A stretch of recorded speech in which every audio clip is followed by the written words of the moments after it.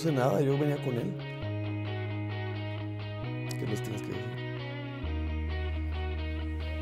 Ah, bueno, eh, creo que... eh, ¿De qué te ríes? no, no. Ah, La, con la señorita está hablando en serio, ¿de qué te ríes? ah, bueno, creo que las cosas no son como parecen. Eh, sé que de primera instancia puede parecer que estamos involucrados en, en- en algo chueco, pero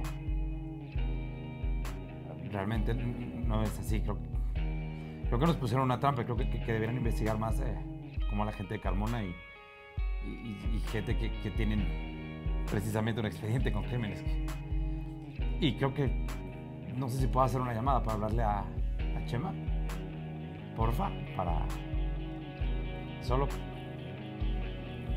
Para que le explique más bien qué es lo que pasó. Está nervioso.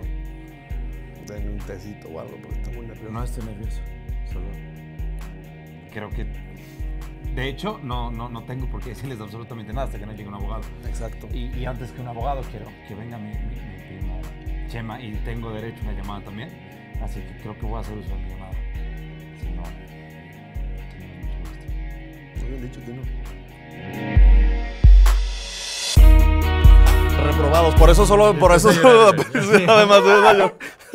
Corre. Así. wow, wow.